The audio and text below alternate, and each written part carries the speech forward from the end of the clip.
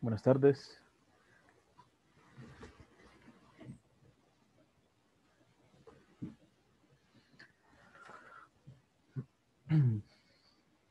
Bien.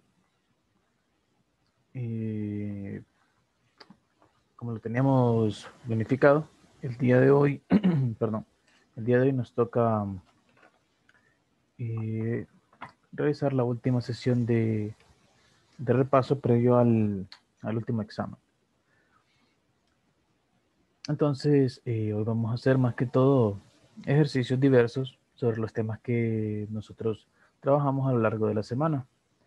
Y al respecto de eso, tengo a bien comentarles que eh, esta semana hicimos bastantes ejemplos, ya hicimos bastantes ejercicios. Por lo cual, los ejercicios más básicos, pues prácticamente ya los cubrimos. O si no los cubrimos, cubrimos unos que son bastante similares o por lo menos con las ideas eh, bastante similares a las que se necesitan para resolver bastantes de los ejercicios de la sección de las dos de las tres secciones correspondientes del libro que estuvimos analizando. Y bien, vamos a empezar primero con los ejercicios de inducción, que fueron los primeros, que fue el primer tema de los que trabajamos en la semana. Eh, a ver, Sana me está preguntando que si subí la clase del miércoles. Bueno, me parece que la del miércoles sí, la que tengo pendiente es la de ayer. Pero sí, la del miércoles sí la subí, me parece. Igual, cualquier cosa, cuando suba la, la, de ayer y esta de hoy, voy a checar eso, que no haya ningún problema.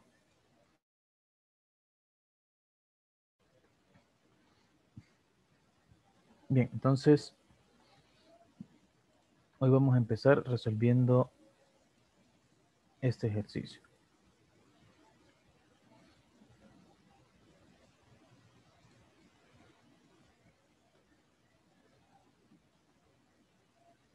Demuestre que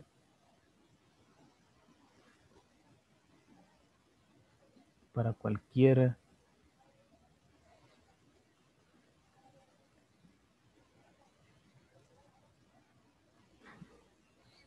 para cualquier n entero positivo mayor igual que 4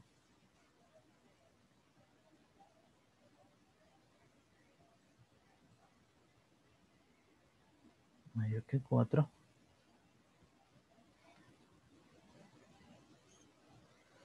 entonces nosotros tenemos que n al cuadrado es menor que 2 a la n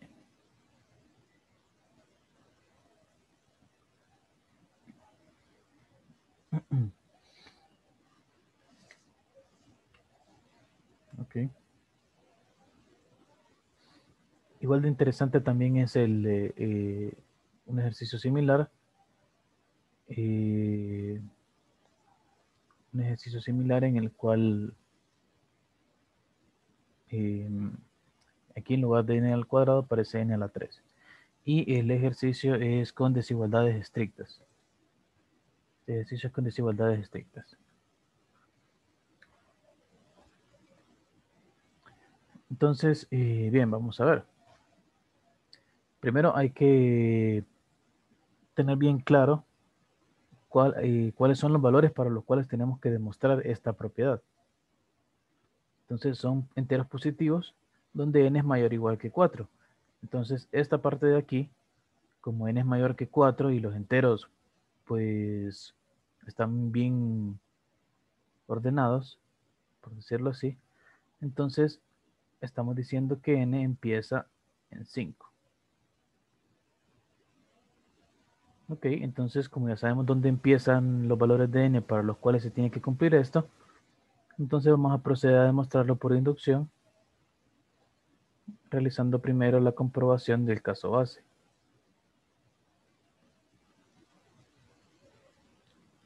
Entonces, en nuestro caso base es cuando n es igual a 5. Y pues bueno, tenemos que n es igual a 5, entonces tendríamos que probar que 5 al cuadrado es menor que 2 a la 5.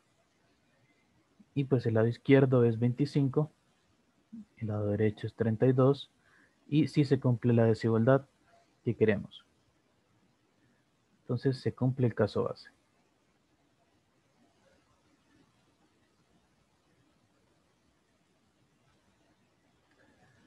Ok.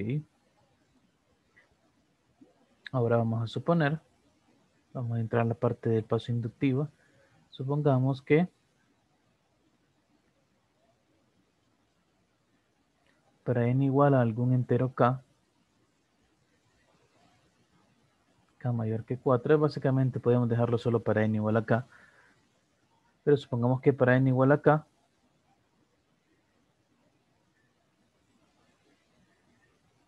se cumple que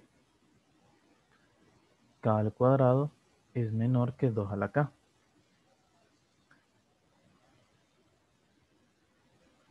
Y probaremos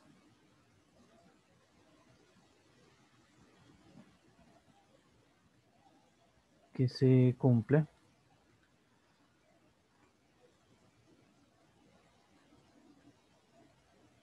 para n igual a k más 1. Es decir, que lo que vamos a probar es que k más 1 al cuadrado es menor que 2 a la k más 1.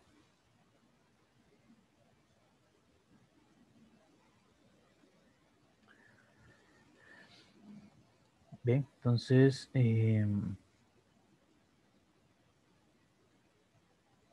listo, vamos a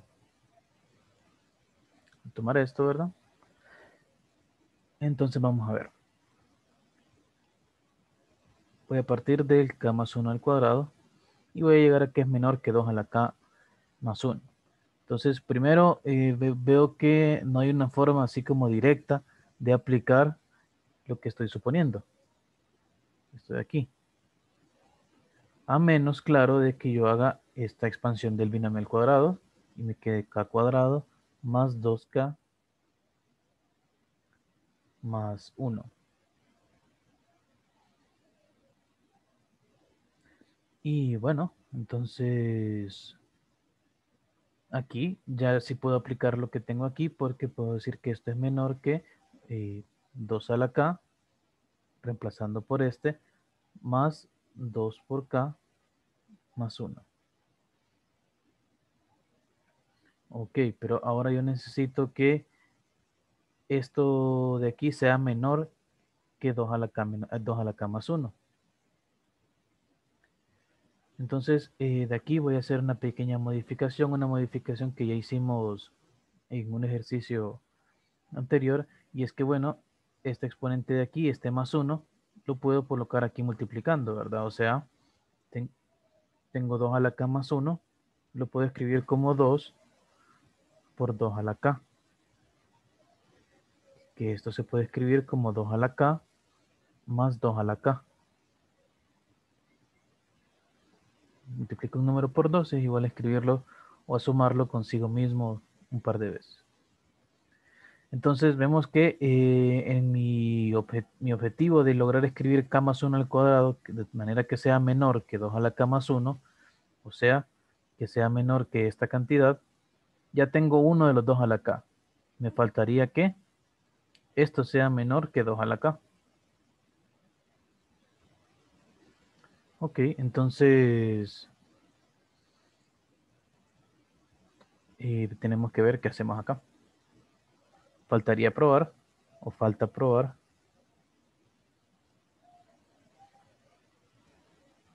Que 2K más 1 es menor que 2 a la K.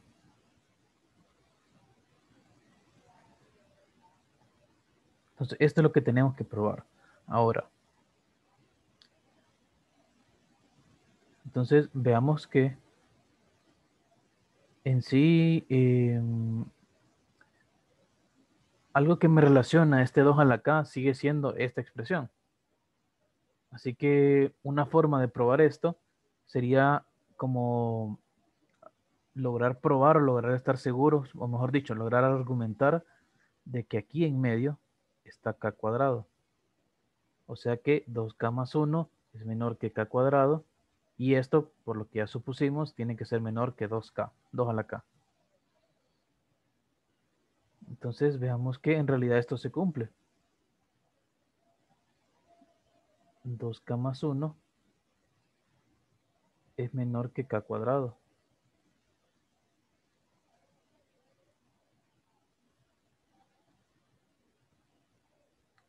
¿Y esto a qué se debe? Bueno, esto es porque si yo pasara esto al, lado derecho, yo tengo que 0 es em, menor estricto que k cuadrado.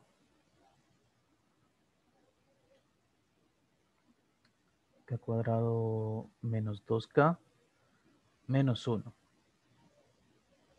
Ok, pero aquí todavía hay un detalle, porque esto no es el binomio al cuadrado que quisiera para estar seguro de esto. Pero fíjense que yo puedo hacer lo siguiente, y este es un truco bastante común en matemática, y es que yo esta expresión de aquí la puedo escribir como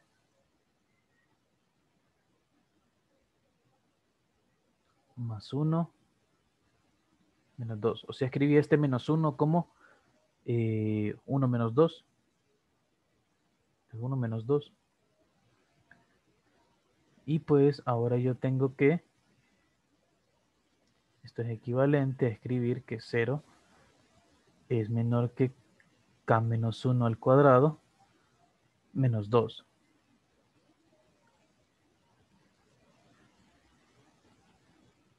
En otras palabras, yo pasé de probar esto de arriba a tener que probar esto, a tener que probar esto, a tener que probar esto de aquí y ahora solo me falta corroborar de que esto se cumple. Pero esto es cierto. Esa cantidad siempre es mayor que cero, pero no para cualquier K. Esto es cierto. Para K, de hecho, mayor que 3.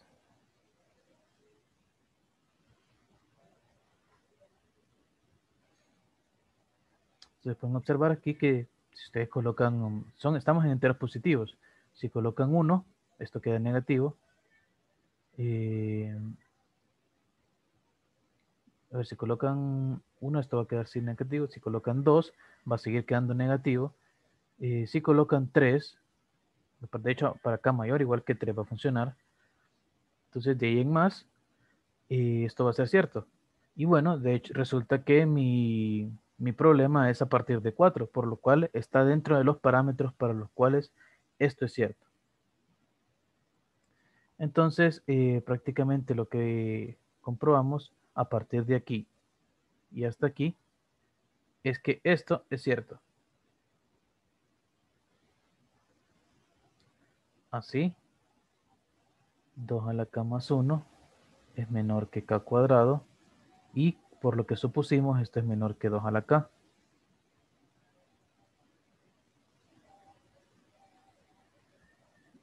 Por tanto, k más 1 al cuadrado es menor que 2 a la k más 2 a la k es 2 a la k más 1.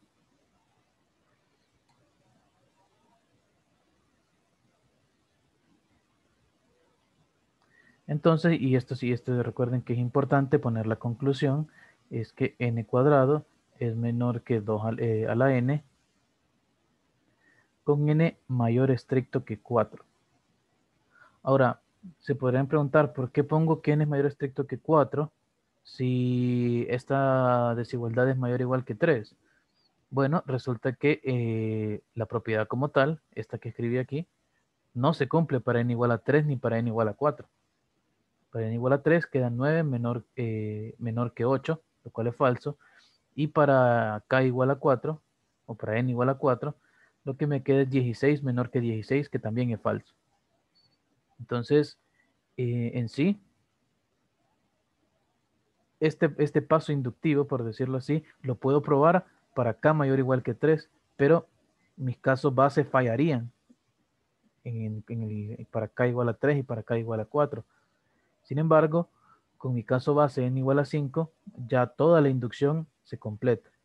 Entonces, eso es para eh, hacer énfasis en que el paso inductivo no es la única parte importante de la inducción, también lo es la, el caso base. Entonces, eh, tenemos eso. Entonces, ¿hay alguna pregunta con este ejercicio?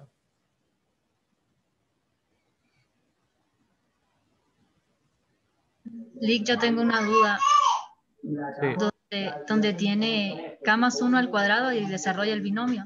Sí.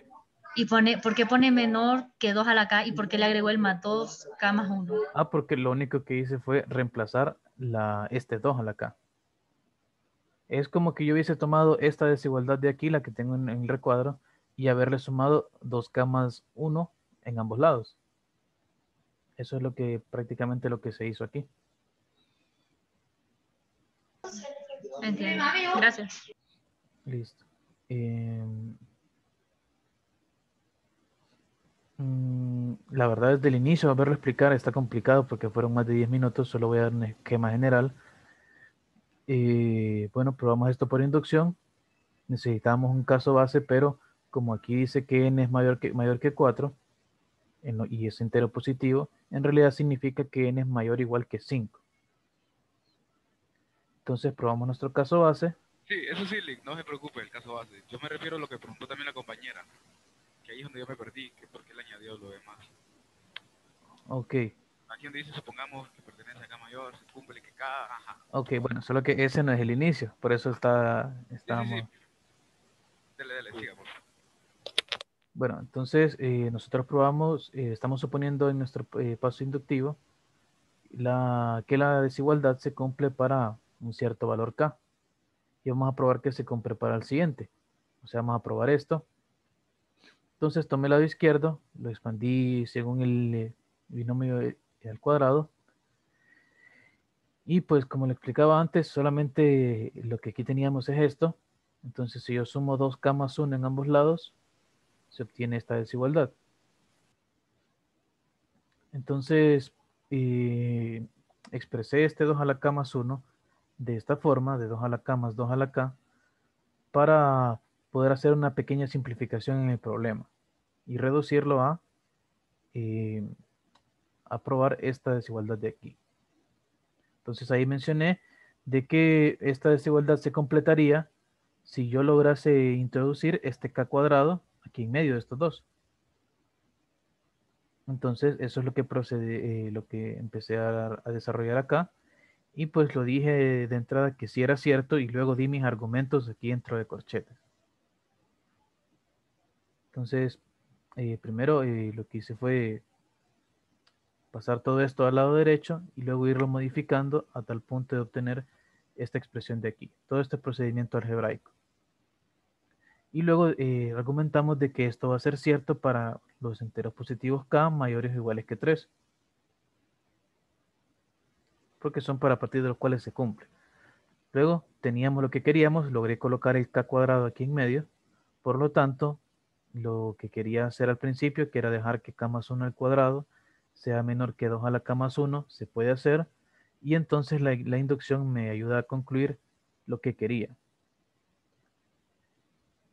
Y pues hice el comentario brevemente de que aquí k es mayor o igual que 3, eh, sin embargo, no significa de que mi inducción funciona para, a partir de k mayor o igual que 3, porque esta desigualdad no se cumple ni para 3 ni para 4.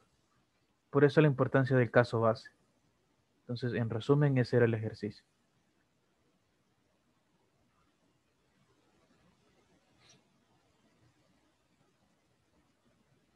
A ver, eh, pregunta si sería válido usar un argumento similar para solo decir eh, de un solo decir que 2K más 1 es eh, menor que 2 a la K. Mm, pero un argumento similar a cuál sería en todo caso, Yoxan, porque si me queda un poco, no me queda del todo claro cuál es la, cuál sería el argumento al que es similar.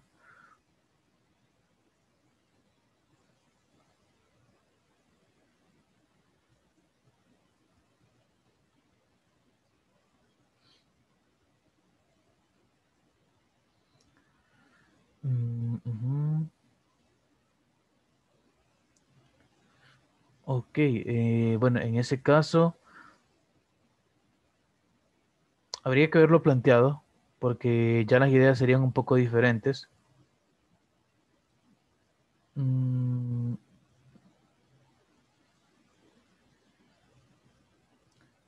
Porque sí, o sea, lo que sucede aquí es que al yo haberlo expresado de esta manera, el más 1 al cuadrado, ya se tiene de entrada que esto es mayor o igual que 0.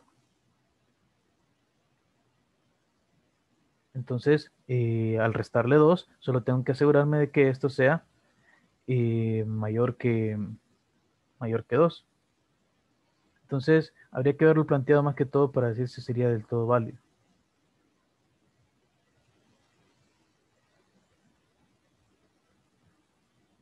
Eh, bueno, sí, de hecho sí se puede usar una inducción dentro de una inducción, pero es, es raro. Normalmente uno busque simplificar el argumento, pero sí es posible. Bueno, planteado así es probable que sí, sí, sea, sí se genere un argumento válido. Eh, solo que como lo digo, de repente podría ser un poco más complicado por esa vía. O simplemente no más complicado, sino más trabajado. Pero sí sería un argumento válido.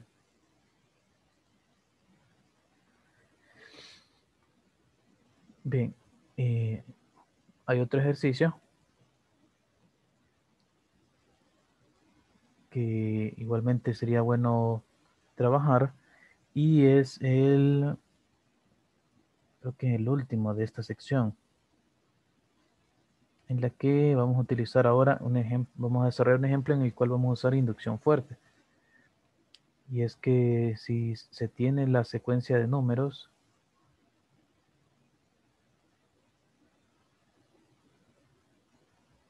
la secuencia de números.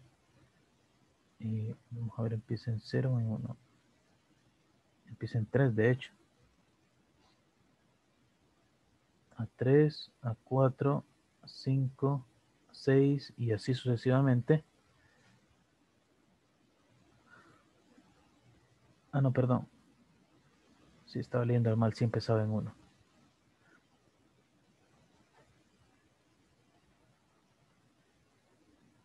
Estaba leyendo lo que se pedía. Sí, tenemos la secuencia a 1, a 2, a 3, a 4 y así sucesivamente.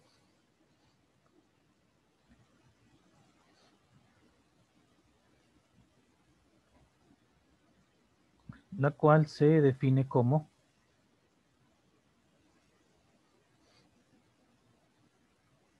a 1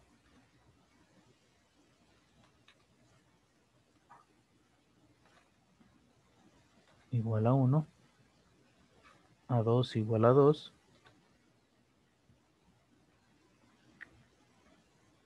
y a n es igual a n más eh, a n menos 1 más a n menos 2 y esto se cumple para n mayor o igual que 2 a ver, perdón, para n mayor o igual que 3 sería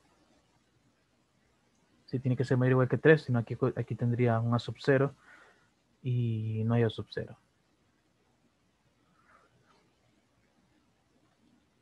Entonces, aquí vamos a demostrar, o se pide demostrar, demuestre que n, o mejor dicho que a sub n, es menor estricto que 7 cuartos elevado a la n.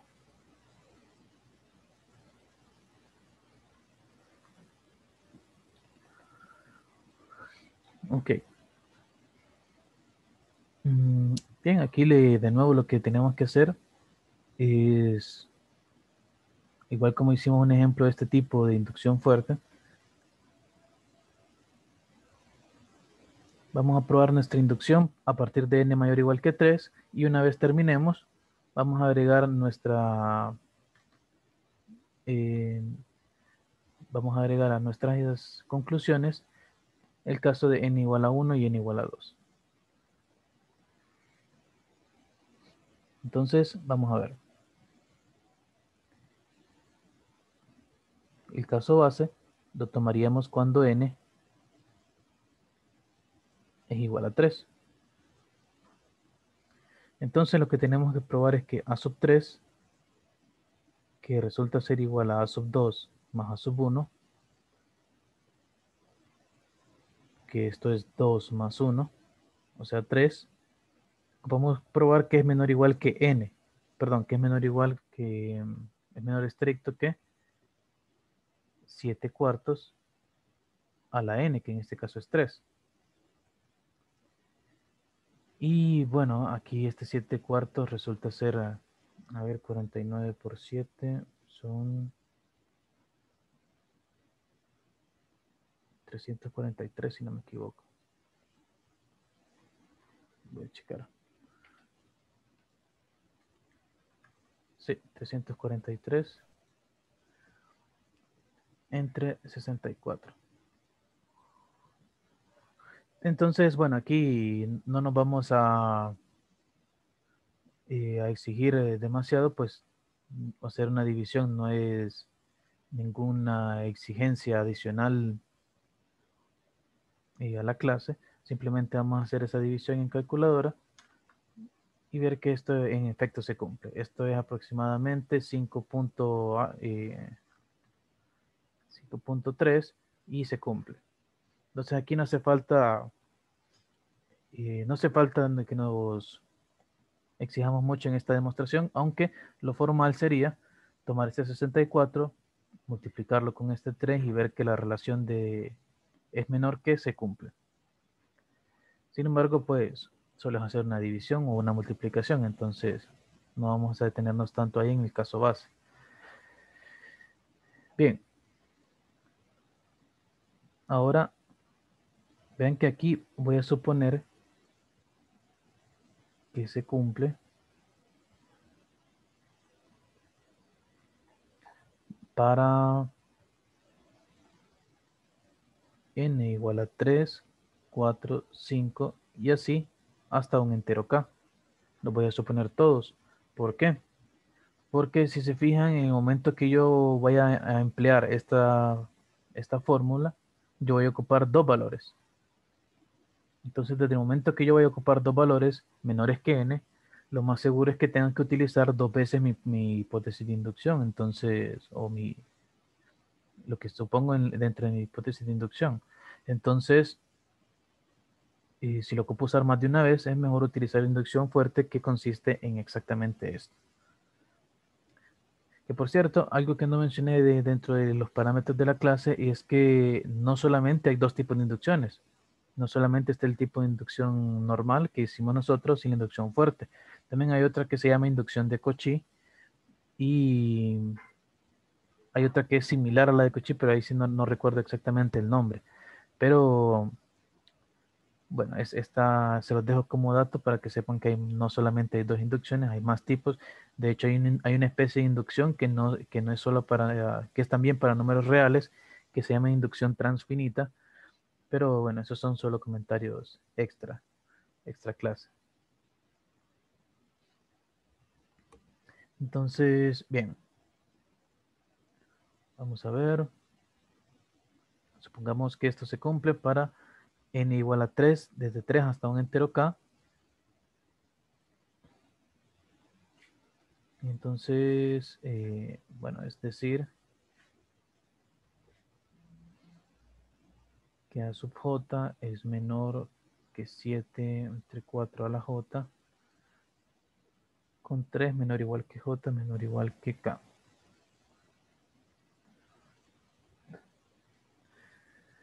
Bien, entonces em, queremos probar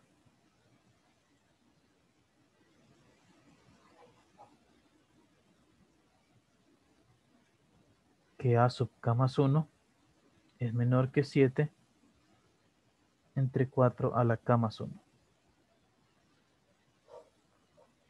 Entonces tomemos ese A sub k más 1, utilicemos la fórmula que nos da el ejercicio, y es que esto es A sub k más A sub k menos 1.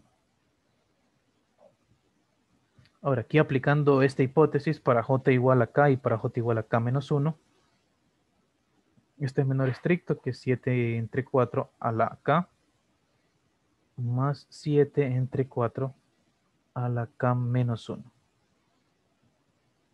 Entonces aquí voy a tomar de factor común 7 entre 4 a la k menos 1.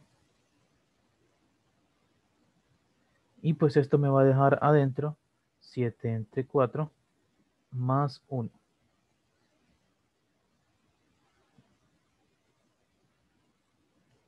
Ok.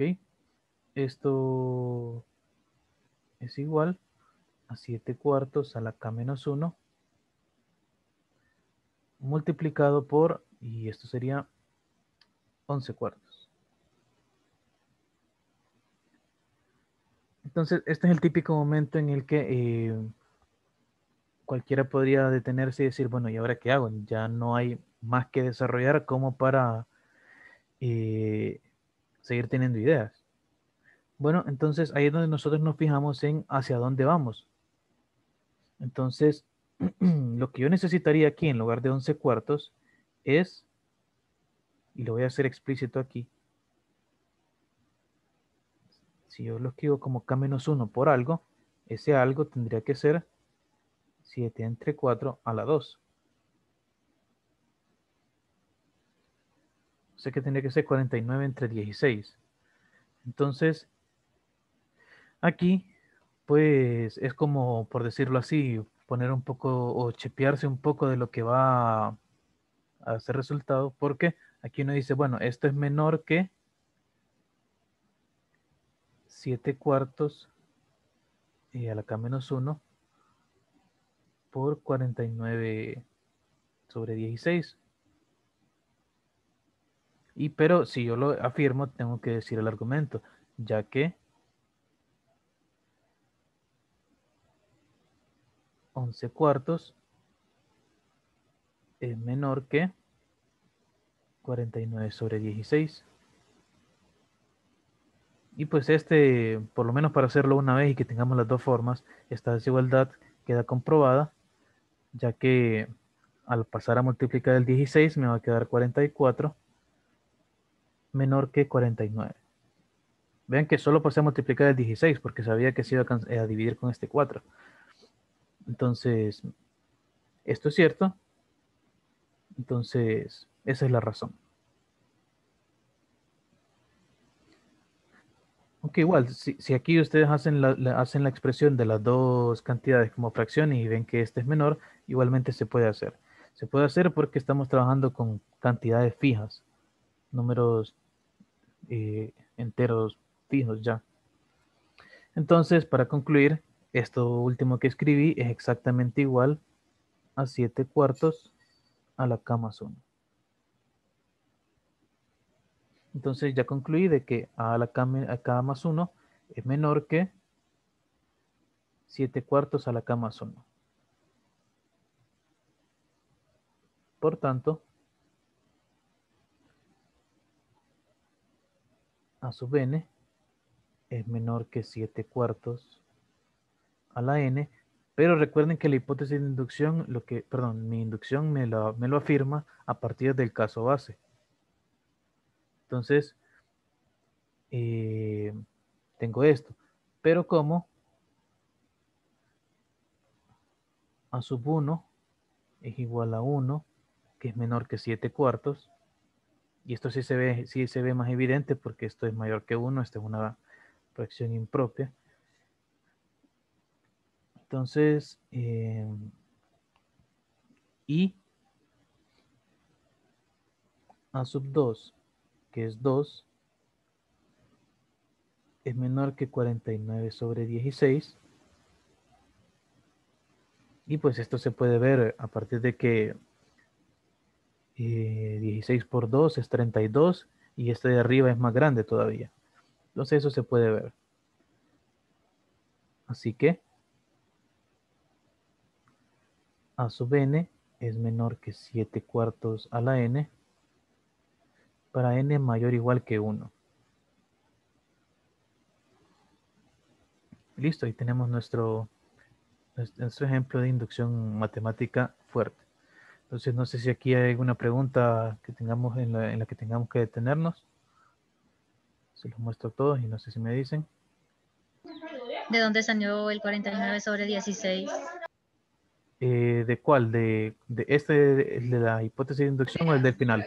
Sí, ese, ese de la hipótesis. Ah, ok. Como les decía aquí en la justificación, yo, eh, a partir de este punto, alguien podría quedarse eh, bloqueado porque no hay una vía eh, o un camino claro a seguir. Sin embargo, entonces yo me fijo en qué es a lo que quiero llegar. Entonces yo quiero llegar a esta expresión de acá arriba, que la puedo escribir así.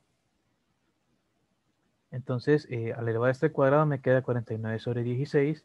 Entonces yo afirmo de que esto de aquí es menor que esto por el hecho de que esta fracción es menor que esta. Y eso lo pruebo acá. Entonces aquí es como dar, dar, un vistazo a qué quería llegar y luego justificar que eso que ese paso es válido. Entiendo, gracias.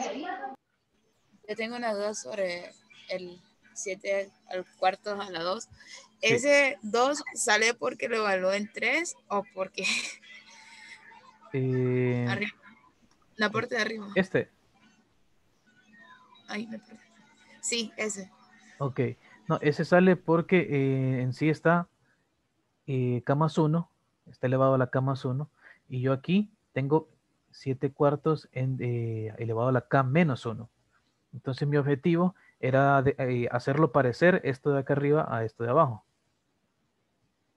Entonces yo dije, bueno, voy a, voy a tomar, eh, voy a escribirlo como 7 cuartos a la K menos 1, pero aquí hay dos, eh, dos factores, 7 cuartos que estoy sacando, ¿verdad? Entonces de ahí sale que de elevarlo al cuadrado. Ya entendí, gracias. Listo. No sé si hay, hay otra duda, alguna otra duda.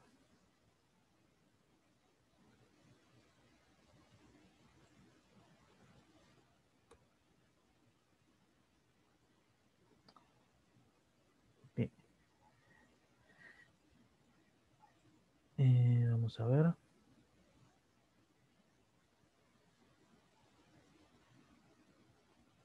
Ok. Voy a hacer este ejercicio que está en el libro porque se parece a uno de los que está de tarea, entonces por si de repente eh, ha habido algún problema con resolverlo, le sirva de pauta. Entonces, eh, es el ejercicio 5 de la sección 4.1 que se parece al 4. Entonces, este dice que los enteros del 1 al 100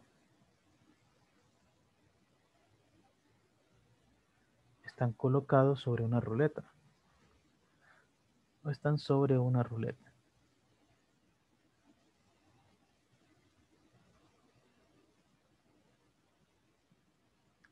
de forma aleatoria o al azar.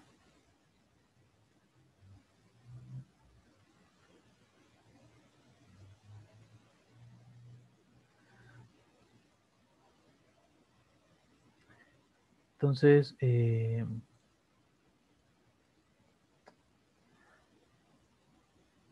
bueno, este, de hecho estoy mezclando las redacciones de la 4 y la 5, pero el punto es que están los enteros del 1 al 100 sobre una circunferencia, sobre algo circular, colocados de forma aleatoria. Ese es el, punto de, del problema. Entonces ahora nos pide demostrar que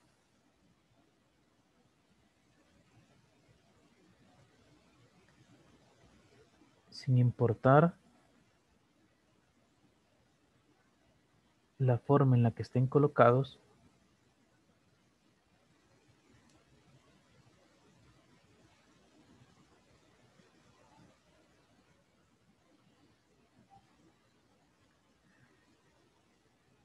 al considerar cuatro enteros consecutivos, o sea, cuatro enteros que están juntos, en este caso lo pone aquí. De considerar cuatro enteros adyacentes, o sea, uno al lado del otro,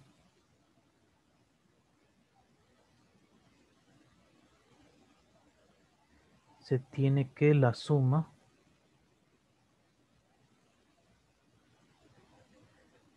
de los tres pares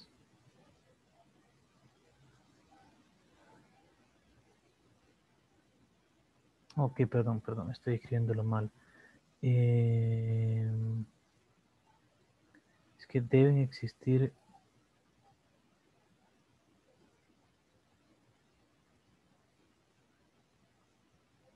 Ok, si aquí le pido una disculpa, deben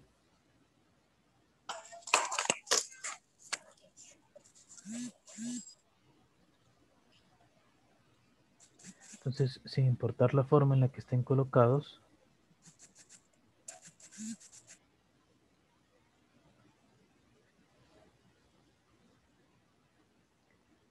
deben existir cuatro de ellos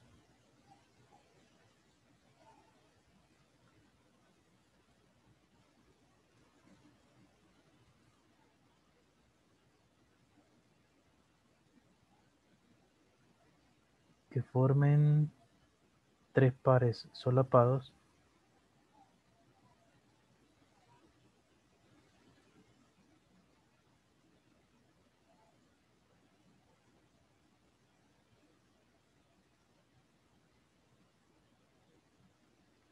cuya suma sea mayor que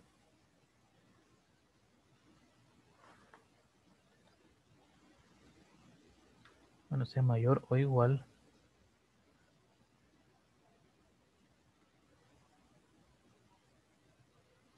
a 202.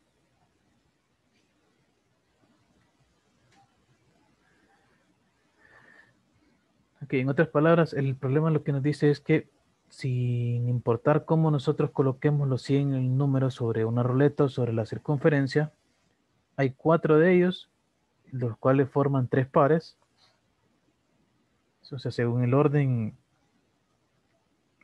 si yo tengo, por ejemplo, algo así, tengo la circunferencia y tengo 1, 17, 92 y 41. Entonces los tres pares de los que habla serían estos. Sería uno. Este sería otro. Y este sería otro. Son los tres pares solapados. Se solapan porque comparten un número cada vez. Entonces lo que nos pide es probar que existen cuatro números de, forma que al tomar tres pares así, entonces la suma tiene que ser mayor o igual que, que 202. Entonces vean, es un problema en el que tenemos que probar que existen. Así que, por ejemplo, si yo tomo este que puse aquí en eh, de ejemplo, 1 más 17 más 92 más 41, ese no da mayor igual que em, no da mayor igual que 202 pero aquí no me dice que todos los, todas las, posibilidades que yo tenga las encuentre, sino que me dice que existe alguna forma. Sin, importar cómo yo los coloque, siempre voy a poder seleccionar cuatro que estén así seguidos, de manera que la suma de esos cuatro, de la suma de esos tres pares, mejor dicho, sea mayor que 202, mayor igual que 202. O sea que en este caso tendría que sumar 17 más 17 más 92, que serían 109, más 41 más 92, que es 133. Entonces, si yo sumo los tres pares, los tres pares como tal, sí me dan mayor que 202, en este caso. Entonces yo tengo que probar que siempre existe esa configuración. Entonces, vamos a ver.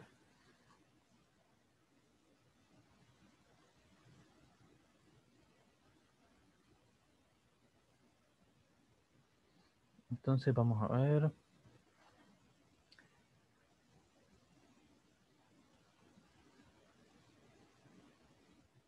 Supongamos que no. O sea, lo voy a hacer por contradicción. Supongamos que Eh, entonces, supongamos que no hay fórmula eh, no hay forma, perdón, de seleccionar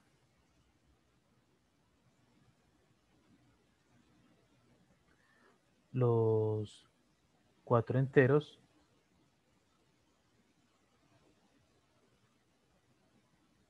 De modo que la suma de los tres pares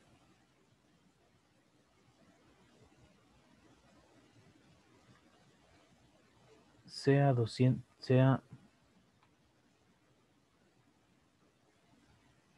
mayor o igual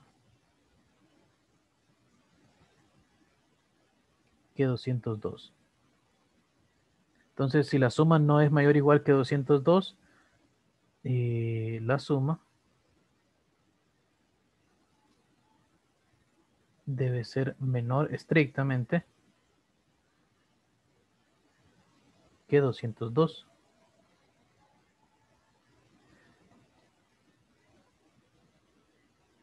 Entonces, eh, lo que estoy diciendo aquí eh, al final es que si no, hay, si no hay forma de seleccionar cuatro enteros, entonces la suma debe ser menor que, para, que 202 para cualquier selección de cuatro números que yo haga.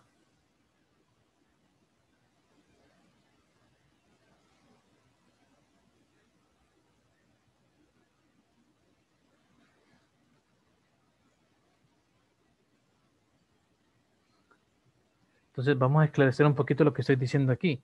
Estoy diciendo que no existen cuatro enteros, o lo voy a poner aquí en símbolos acá, que no existen, o estoy negando que existen cuatro enteros tales que o tales que esta suma de los tres pares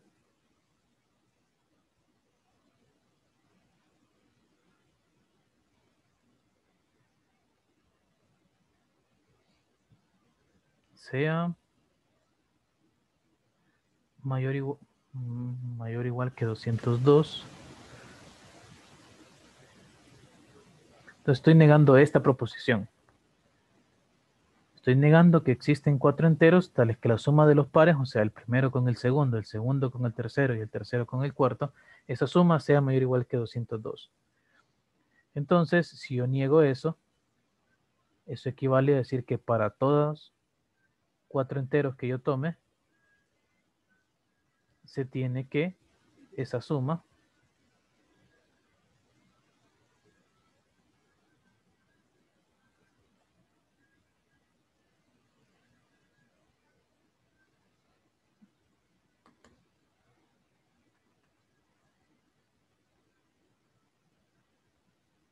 esta suma tiene que ser menor que 202. Eso es lo que dije, pero en palabras. Entonces, hay que encontrar una contradicción, porque estoy suponiendo de que no se cumple lo que me piden que demuestre. Entonces, veamos bien, ¿qué pasa si yo hago la suma de todas las posibilidades? Es decir, agarro todas las posibilidades de cuatro, todas estas que están, todas estas que estoy diciendo aquí, y la sumo. Entonces, definitivamente voy a tener sumado los números del 1 al 100. La pregunta es, ¿cuántas veces? Porque si yo hago todas las configuraciones posibles, eh, definitivamente voy a tener eh, todos los números del 1 al 100, porque si agarro todas las posibles combinaciones, todas las posibles selecciones que yo haga, van a estar todos los números. Entonces la pregunta es cuántas veces. Ahora la respuesta va más o menos dirigida en primera parte y aquí.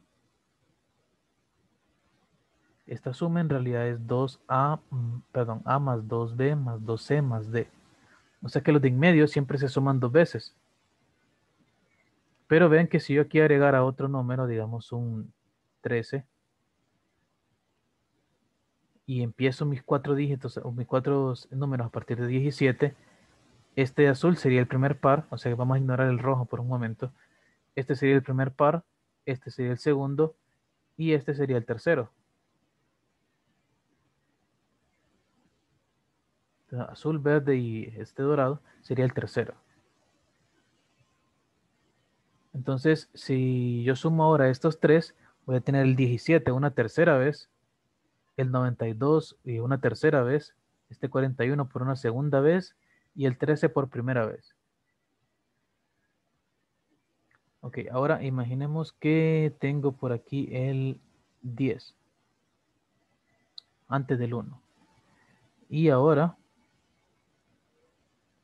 tengo esta pareja.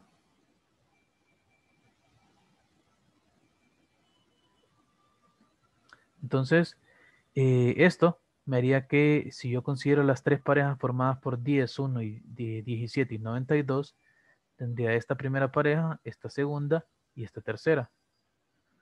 O sea que considerando estos cuatro números, el 17 se suma otras dos veces. Y por último, si yo pongo aquí el 22 y añado esta otra pareja, tendría 22, 10, 10, 1, 1, 17. Entonces el 17 con esas cuatro, con la, selección de estos cuatro sería sumado una sexta vez. Perdón, una, sería sumado una cuarta vez sería. La primera, cuando empezamos en 1. La segunda, cuando empezamos en 17. De hecho, cuando empezamos en 1 habían dos. Eh, permítame. Mm, mm, mm,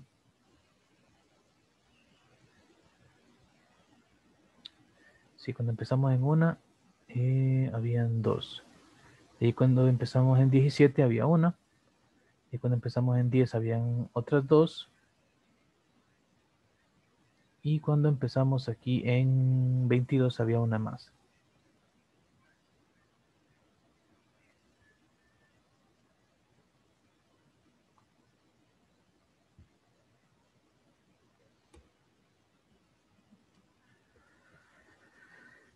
Ok, entonces vamos a ver. A final de cuentas, lo que quiero decir con este argumento de acá es que cada uno de los números, porque aquí solo me centré en el 17, pero si yo me muevo a partir de todos los 100 que hay, cada número se va sumando 6 veces.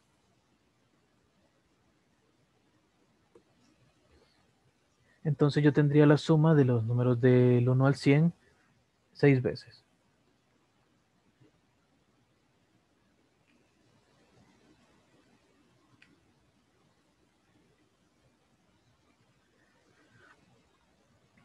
Ok. Eh,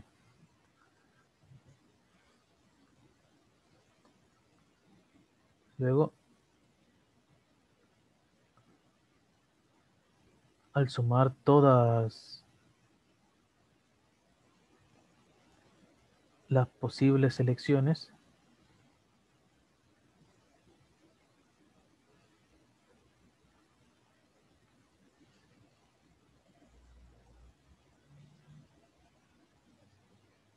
tendríamos que cada número se suma seis veces.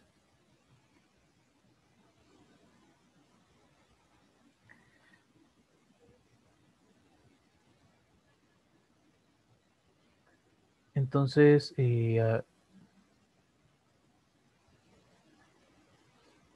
al considerar todas, y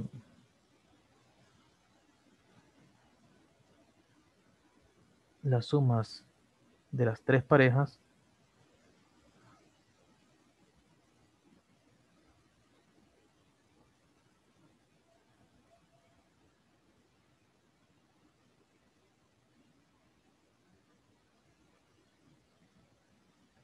tendríamos un total de seis veces 1 más 2 más 3, así hasta 100. Y pues esto es 6 por 100, 100 más 1, Recordamos que esta fórmula nosotros la probamos. La suma de los enteros positivos desde 1 hasta 100 eh, es esto de aquí, el último más el siguiente entre 2, lo cual nos deja, eh, si no me equivoco, son 30.030. Vamos a ver. No, 30.300.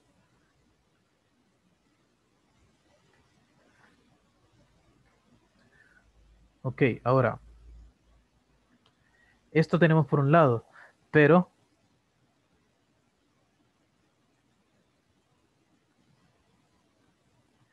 en realidad, ¿cuántas, ¿cuántos grupos de cuatro puedo formar? Entonces, eh, como si se fijan, yo puedo ir cambiando, o sea, puedo ir solo moviendo de uno el grupo de cuatro. Empecé con 1, 17, 92 y 41. Luego, eh, otro grupo de cuatro era 17, 92, 41, 13. Así que prácticamente hay uno por cada, o sea, hay un grupo de cuatro por cada número de los que aparece aquí. Porque al final de cuentas siempre hay una hay un grupo de cuatro en el cual cada número aparece eh, como, primer, eh, como primer término.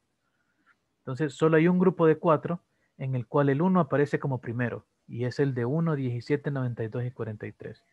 Solo hay un grupo de cuatro en el cual el 22 aparece como primero y es el 22, 10, 1, 17. Entonces, eh, siguiendo esa idea, pero hay 100 grupos de cuatro números posibles. De cuatro números.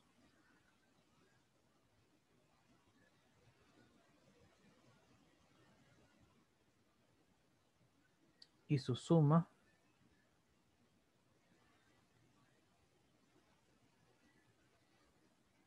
menor que 202 cada una.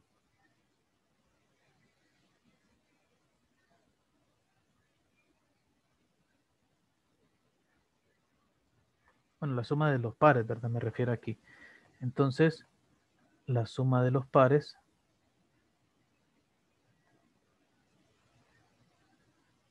de los tres pares debe cumplir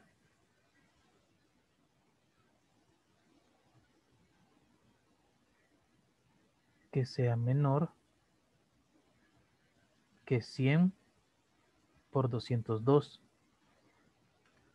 Porque ya estoy suponiendo que la suma de cada uno de los, que hay 100 grupos posibles y cada una de las sumas de los pares, de los tres eh, pares que se forman aquí o de los grupos de 2, es menor que 202. Así que esta suma que yo hice aquí tiene que ser menor que esta cantidad, pero resulta que esta cantidad es 20.200.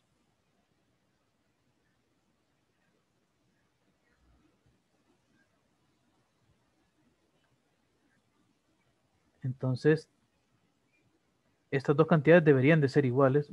Eh, bueno, de hecho, estaríamos diciendo que esto de aquí tiene que ser menor que esto de acá.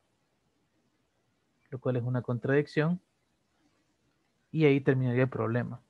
Entonces, este problema, como les digo, algo así no les podría salir en examen porque es demasiado pensamiento que hay que hacerle. Sería interesante, pero es demasiado pensamiento que hay que hacerle. De repente se ocuparía una hora entera o para analizar todas estas situaciones, pero como hay uno parecido en la tarea, entonces por eso lo quería hacer acá. El de la tarea es mucho más sencillo, claro está. No hay que hacer tanto, tanto juego, pero básicamente esta sería la idea del, problema que se le parece. En resumen, para rescatar lo que realmente quiero que se entienda de este ejercicio, es que eh, la forma de probar de que existe lo que se me pide aquí es por contradicción. Supuse que no y consideré todas las posibilidades en las cuales no se cumplía. Entonces, de ahí hice la, la suma de, o sea, de ahí hice todas las posibles sumas de dos, dos maneras diferentes. Una, en este caso fue hacer la suma considerando el número de veces que aparece cada número. Y otra fue considerando nuestra eh, suposición por, eh, la que estamos haciendo por contradicción. En este caso, que la suma sea menor o igual, que sea menor estricto que 202. Entonces, eh, al hacerla de esas dos maneras, obtuve una contradicción. Por lo tanto, lo que supuse que no era cierto, en realidad sí lo era. Entonces, más o menos ese es el esquema de lo que esperaría que se hiciera en ese ejercicio.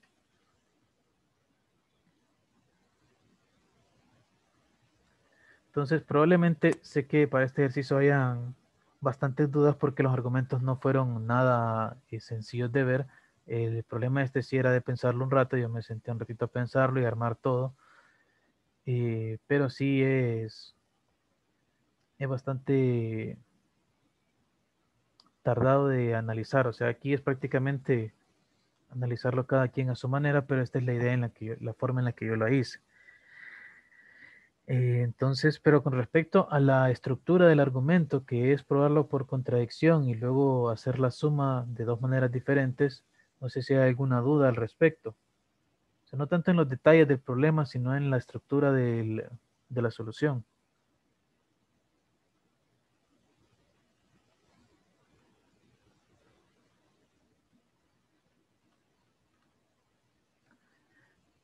Bien, entonces eh, vamos a pasarnos al capítulo número 5, en el cual es que realmente hicimos un montón de ejemplos. Aquí ejercicios que los, que quedan son muy pocos.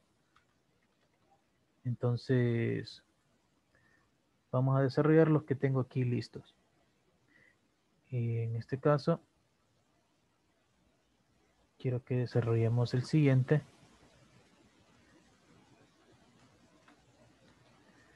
el cual dice que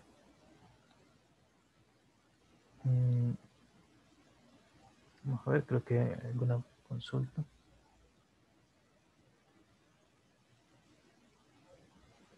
¿El 6 de qué sección?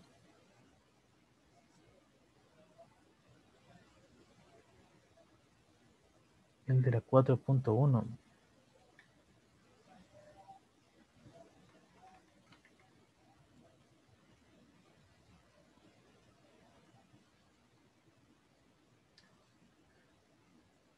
Eh, bueno, el, el 6 realmente solamente es una ecuación algebraica la que hay que hacer, puesto que la suma de la izquierda eh, que aparece ahí ya es una de las que hicimos en clase. De hecho, las dos sumas que aparecen ahí ya, ya las hicimos en clase, solo que una está hasta 2n y la otra hasta n. Así que ese problema es más que todo algebraico, porque las dos sumas que aparecen ahí ya las determinamos en clase. Y de hecho las probamos por inducción, ahí ni siquiera hay que hacer ninguna prueba. Prácticamente si hay, que usar la propiedad enchutativa, hay que eh, enchutar 2n en la fórmula de la suma de los de 1 hasta n y eh, ponerle n a, a la suma de, los cuadrados de 1 hasta n. Así que hay que usar las fórmulas que desarrollamos para esas dos cantidades. Esa sería la, mi sugerencia para el, el ejercicio 6 de la 4.1.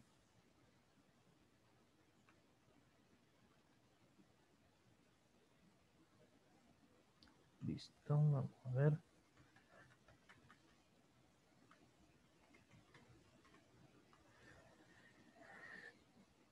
Entonces, del capítulo 5, como ya eh, hemos simplificado bastante los conceptos que hay aquí, y como no va a ser tan pesado para el examen, simplemente vamos a hacer una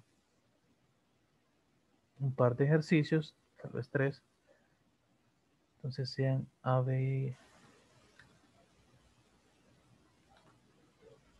C y D en un universo U conjuntos no vacíos.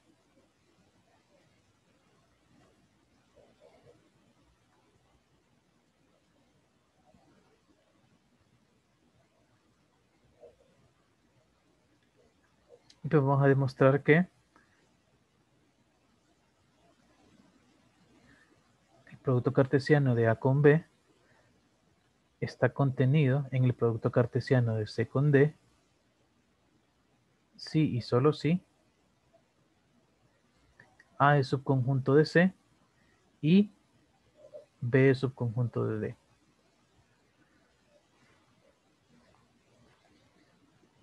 O sea que esta es como una relación de contención entre productos cartesianos.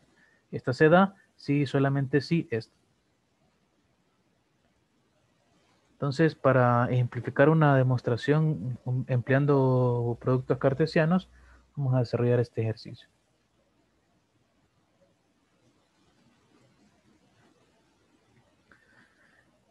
Bien, entonces, como es un sí solo sí, vamos a desarrollar esta parte.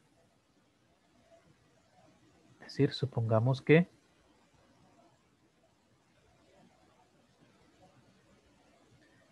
el producto cartesiano de A con B es subconjunto del producto cartesiano de C con D.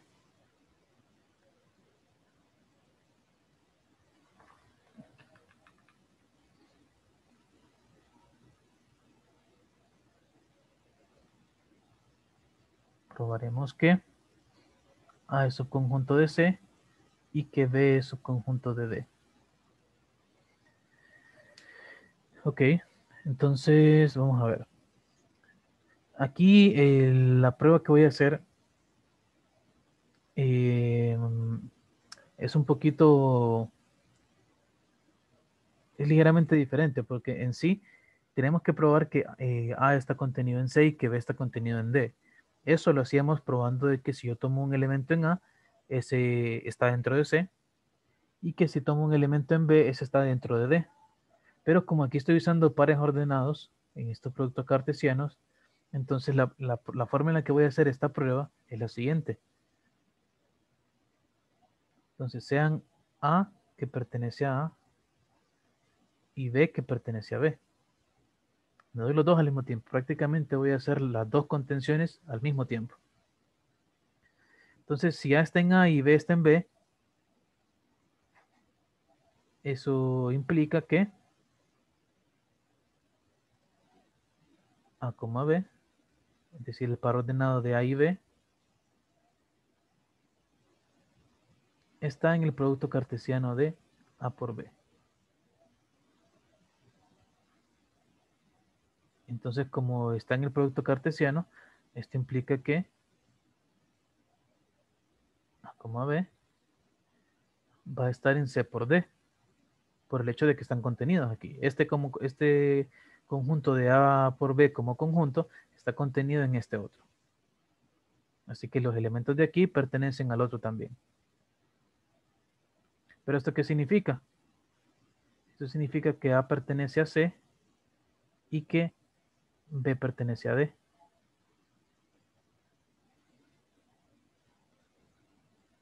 Y pues esto implica que A es subconjunto de C y B es subconjunto de D. ¿Por qué? Y vean que yo tomo tomé un elemento en A y lo, aquí demostré que está en C y tomé un elemento en B y aquí probé que está en D. Entonces tengo la contención.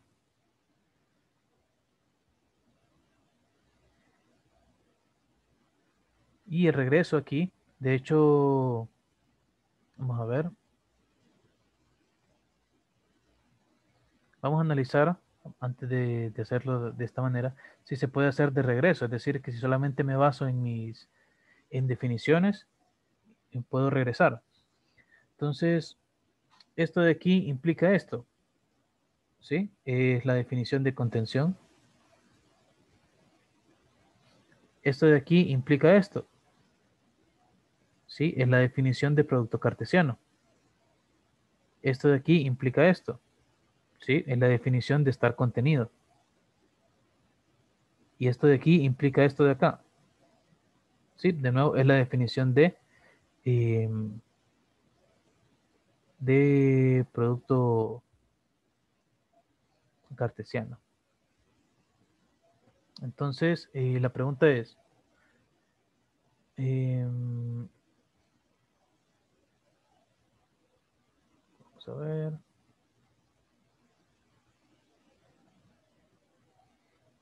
Mm, bueno, sí, aquí la verdad sí se puede regresar, pero si, se fijan detenidamente, no queda del todo explícito de qué forma eh, un elemento de aquí está en este. Lo que me di fueron un elemento en A y un elemento en B. Así que, aunque sí podemos regresarlo, de, de hecho vamos a hacerlo por separado, por el hecho de que, bueno, yo parto de esto, pero no termino en esto exactamente. ¿Me explico? Empecé en esto. Si lo intento hacer de regreso, empiezo en esto y termino aquí. Pero esto no es exactamente esto. Así que sale mejor hacerlo por separado, aunque ya sabemos que como puedo regresar, voy a tener que hacer varios pasos de estos repetidos. Entonces, supongamos que A es subconjunto de C y B es subconjunto de D.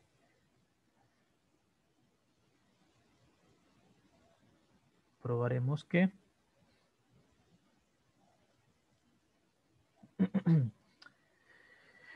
que A por C está contenido en C por D.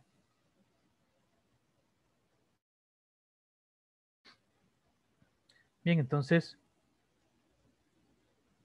sea A, B que pertenece a, perdón, aquí lo puse, puse mal, este es B.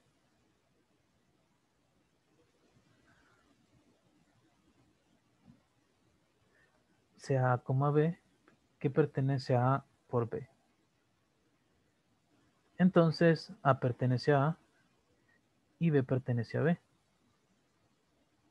Entonces, por la definición de contención, lo que hemos supuesto, A pertenece a C y B pertenece a D. Entonces, A, B pertenece a C por D. O sea, tampoco era tan grave hacerlo de, hacerlo de nuevo. Entonces, este ejercicio era sencillito en ese sentido. Entonces, aquí lo, único que queda así en el aire es ¿por qué estamos suponiendo que son no vacíos? O sea, aquí ya no, hay, ya no hay nada más que hacer, aquí ya terminamos. Entonces ya la pregunta de análisis es, bueno, ¿por qué me pide que sea no vacío? ¿Será posible que esto no se cumpla si alguno es vacío? O mejor dicho, ¿dónde utilicé yo el hecho de que no eran vacíos?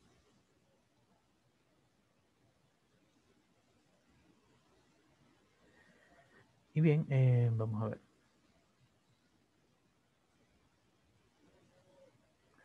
Ok, entonces... Mm,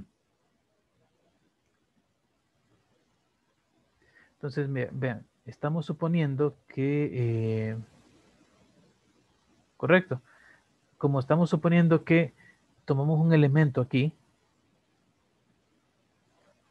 entonces desde ese momento esta prueba, o sea, si esto fuese cierto para el vacío, esta prueba no es para el vacío. ¿Me explico? Yo aquí, desde el principio, como bien lo dice Yoxan, estoy suponiendo que hay elementos en A, en B, y, concluyo de que hay elementos en C y en D. O sea que de ahí estoy diciendo que no son vacíos. Así que si esto fuese cierto para el vacío, tendría que hacer una prueba aparte para considerar los casos en los que son vacíos. Ahora, eso nos, eso nos abre la pregunta. ¿Será que se cumple? Esta prueba no es para conjuntos eh, vacíos. Pero ¿será que si son vacíos o si alguno es vacío, sí se cumple? Y pues la respuesta es que eh, depende, depende de quién sea el vacío. Y depende también de los conjuntos. Entonces, correcto, Jackson lo, menciona bien. Si A y B, si ambos son vacíos, sí se va a cumplir. Porque aquí a la izquierda voy a tener el conjunto vacío, subconjunto de no importa lo que sea a la derecha, siempre se va a cumplir. Y además el vacío siempre va a ser subconjunto de C, sin importar quién sea C, y B y el vacío siempre va a ser subconjunto de D, sin importar quién sea D. Entonces, si A y B fuesen vacíos, entonces sí. Ahora, por otro lado, si C fuese vacío, entonces eh, sin importar cuál supongamos de primero, si C fuese vacío, automáticamente eh, A tiene que, eh, alguno de estos dos tendría que ser vacío. A o B. El punto es que si yo hago que B sea vacío, aquí a la izquierda, entonces sí se va a cumplir porque voy a tener vacío, subconjunto de vacío. Pero esto de la derecha no se va a cumplir porque tengo A, un, un conjunto cualquiera, subconjunto de vacío, y esto no se cumple a menos que A también sea vacío. Entonces prácticamente estamos encontrando como casos en los que esta propiedad eh, tiene huecos. Y eso es porque estamos considerando conjuntos vacíos. Entonces, cuando los conjuntos son vacíos, ya hay que darle un trato especial y no siempre se va a cumplir. Son casos bien específicos en los cuales se va a cumplir y pues ya ustedes lo pueden ir eh, desarrollando, pero en sí no hace, falta, no hace tanta falta porque normalmente los productos cartesianos con vacíos no se dan muy a menudo, así que tampoco es tan grave no saberlo, pero sí poderlo analizar. Bien, entonces con esta prueba no sé si hay alguna pregunta.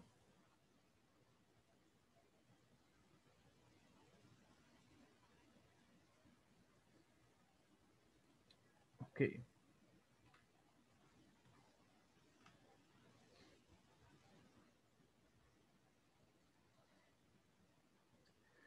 Entonces, bueno, este, esta sección al, mismo tiempo fue bastante rápida, es la parte de relaciones, el producto cartesiano y relaciones.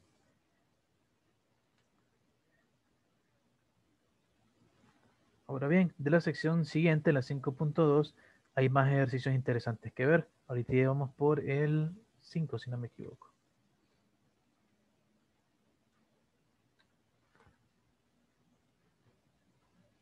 Entonces, vamos a decir...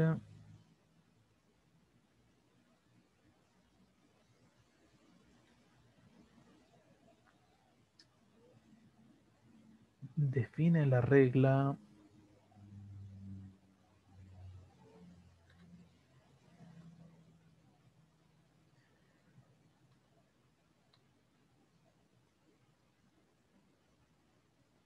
define esta regla una función. En otras palabras, esto es lo mismo que decir f igual a los pares ordenados x, 1 entre x cuadrado menos 2.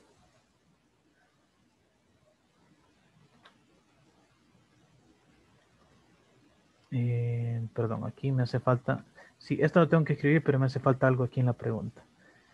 Una función f de r en r.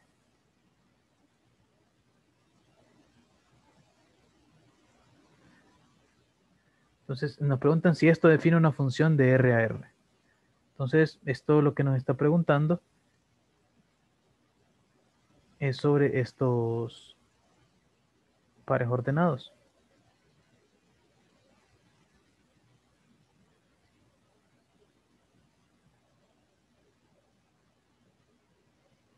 Definen estos pares ordenados que, bueno, en efecto, esto es una relación porque son valores reales y le pregunté si definen una función.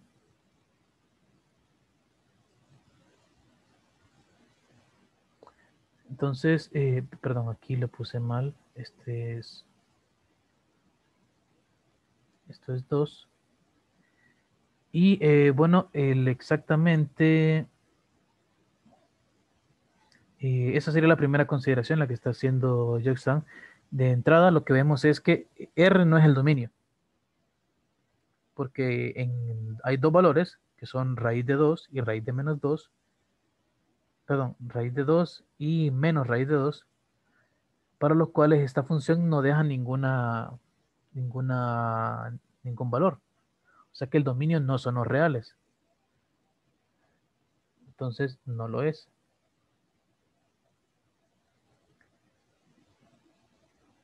Existen R2 y, perdón, eh, raíz de menos 2 y menos raíz de 2 para los cuales no hay imagen. Este es un problema sencillo. Pero ahora, y esta sería la respuesta, ¿verdad? Entonces, una como aparte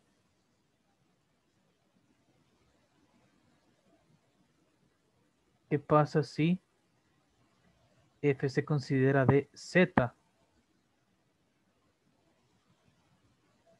a r?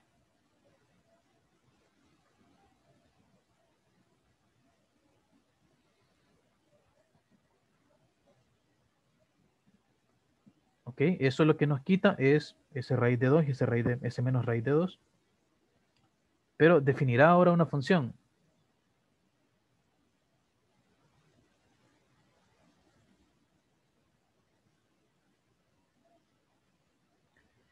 Pues eh, de entrada definitivamente los, los enteros todos tienen imagen. Y además, eh, el único requisito que le pedimos, aparte de que todos tengan imagen, es que solo tengan, que tengan exactamente una imagen. Y eso pues está claro, ¿verdad? Sin importar quién sea el valor entero que yo le pongo aquí, voy a tener uno y solo un valor. Entonces, eh, la respuesta es que sí. En este caso sí lo es.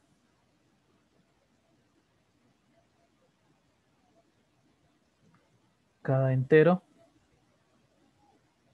tiene exactamente una imagen.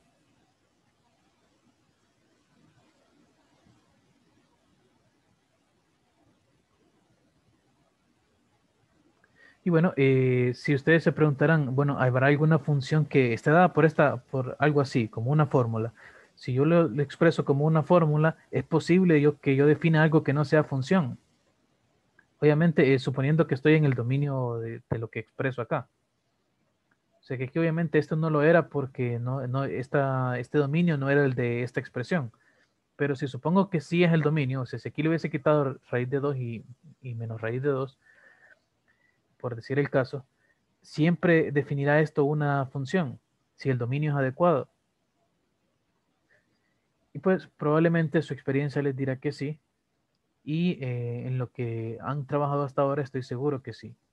Sin embargo, en el momento que se dé, si es el caso de que se lleven cursos de análisis complejo o de variable compleja, ustedes van a observar que hay funciones eh, como la del logaritmo, como la raíz cuadrada, las cuales eh, en los números complejos, eh, cada entero o cada valor del dominio tiene más de una imagen. Entonces, eso se llama una función multivaluada, pero ese es una, un concepto extendido. O sea que no es una función propiamente, pero sí es una función multivaluada. Es como aquella noción de proposición y proposición abierta. Técnicamente una proposición abierta no es una proposición, pero le seguimos llamando proposición abierta. Algo similar sucede. Pero bueno, eso era como un comentario para ese, ese tipo de situaciones. De momento en la clase pues no vamos a tener funciones multivaluadas, simplemente funciones normales. Bien, entonces veamos otro ejemplo podría ser interesante. Y eh, vamos a ver. Hagamos...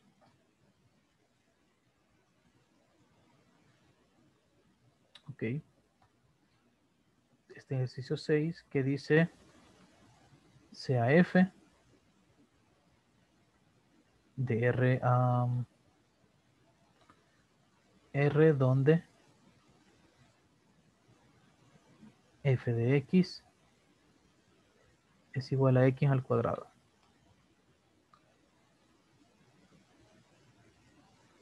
Nos pide determinar f de a para los siguientes incisos. Y aquí falta decir que A es el conjunto de R.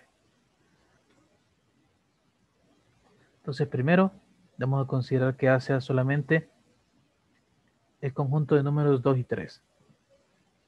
Entonces, en este caso, f de a, lo vimos cómo determinarlo ayer, ¿verdad? Era simplemente tomar la imagen de f en cada uno de los elementos de este conjunto, el cual serían 4 y 9.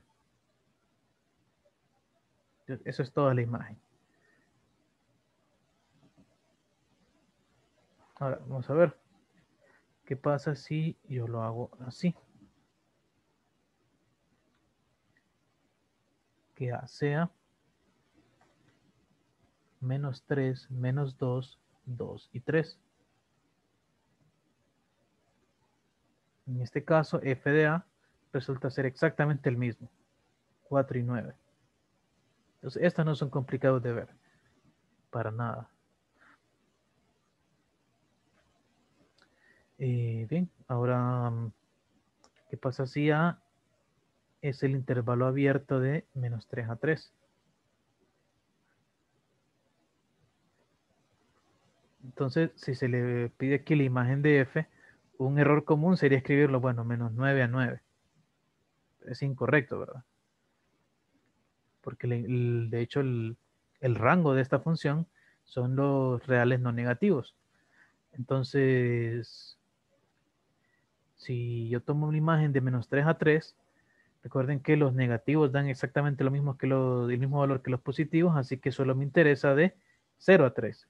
De 0 a 3, la imagen sería en 0 cerrado y en 9 abierto.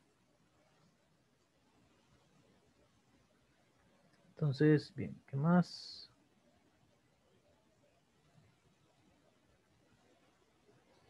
Mm, vemos este otro. ¿Puedo volver a repetir por qué es 9? ¿Ve por qué es 0? Ah, ok, sí, en, en, la función x al cuadrado, los valores negativos van a dar lo mismo que los positivos. Entonces, lo que tengo que ubicar yo aquí es el, es el valor más pequeño que, si lo voy a colocar en notación de intervalo, ¿verdad?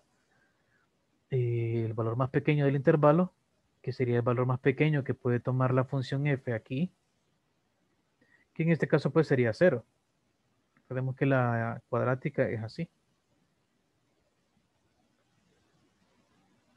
Entonces, si aquí lo tomo de menos 3 a 3,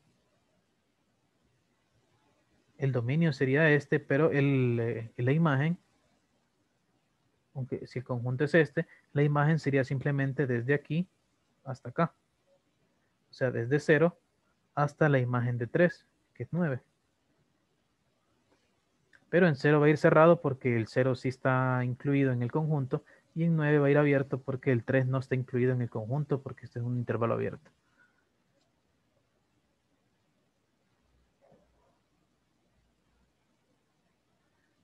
Entonces por eso. Gracias. Listo. Y por último vamos a hacer con este conjunto. Vamos a ver, creo que hay una consulta. El inciso B. Sí. Eh, básicamente, igual que en el inciso A, nosotros hacemos las imágenes de cada uno de los valores del conjunto A, evaluadas en F, y pues 3 al cuadrado, menos 3 al cuadrado me da 9, menos 2 al cuadrado me da 4, 2 al cuadrado me da 4, por lo tanto no lo repito, y 3 al cuadrado me da 9, que ya estaba, así que no lo repito.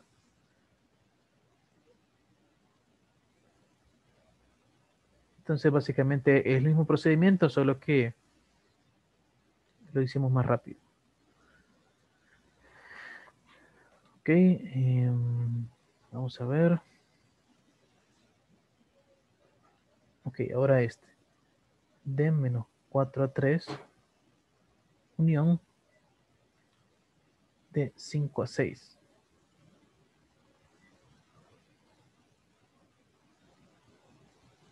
Ah, perfecto. No, no hay problema. Eh, bien. Entonces, ahora con... Paréntesis es cuando está abierto el intervalo. Sí, sí. Ok. Entonces, el, eh, el último inciso, el D, aquí lo estamos poniendo de menos 4 a 3, y abierto el intervalo, y de 5 a 6, también abierto. Entonces, eh, algo que no, que no alcanzamos a ver en general, pero igual se los comento, aunque se puede deducir para este ejercicio, pero se los comento aquí, y es que si uno tiene una unión dentro de la imagen de una unión, esto es igual a la unión de las imágenes.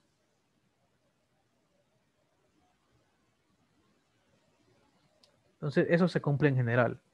Este hecho es el, último teorema de la sección 5.2, el cual no lo vimos, así que no, no espero yo que, eh, no lo supongo como estudiado, así que simplemente lo comento, pero de igual manera se puede sacar la imagen de aquí directamente. Entonces de menos 4 a 3, eh, me interesa bueno, ya sabemos que la parte de los negativos, ¿verdad? Va a quedar exactamente igual que los positivos, pero como los positivos aquí solo llegan hasta 3, entonces, y, aquí llegan hasta menos 4, entonces aquí el intervalo que me interesa considerar aquí adentro es equivalente a haber considerado de menos 4 a 0. Es decir, tomo aquí abierto tomo por decirlo así, en la rama de D0 más larga. En este caso tomé de 0 a 3 positivos porque eran iguales, pero aquí como es más largo hasta menos 4, entonces tomo hasta menos 4. Y esta parte de aquí sería de 5 a 6 positivo, así que esto simplemente no hay problema. Pero entonces, al final de cuentas, cuando usted hace la imagen de estos dos intervalos, entonces aquí le va a quedar de 0 a 16 y aquí le va a quedar de 25 a 36. Entonces, al unirlas, va a quedar exactamente lo mismo, va a quedar exactamente eso. Va a quedar de 0 a 16, el 16 abierto porque menos 4 está abierto. Unión con esta imagen de acá, que sería de 25 a 36.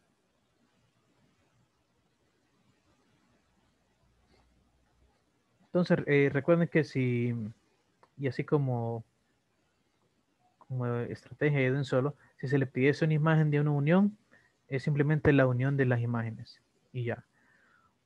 Y aquí hago el comentario rápido de que para intersecciones no se cumple siempre. Entonces, para intersecciones no se cumple siempre, de hecho. Mm, ok. Eh, perdón. Miremos este de aquí. Si A es de menos 3 a menos 1. Unión de 1 a 3.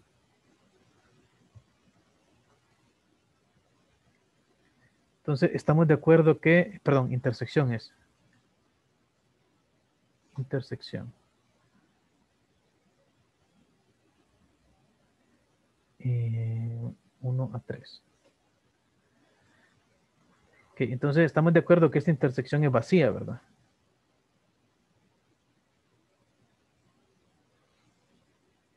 Entonces, eh, definitivamente la imagen de conjunto vacío o sea, si no mando nada a ningún lado, lo que me quede vacío.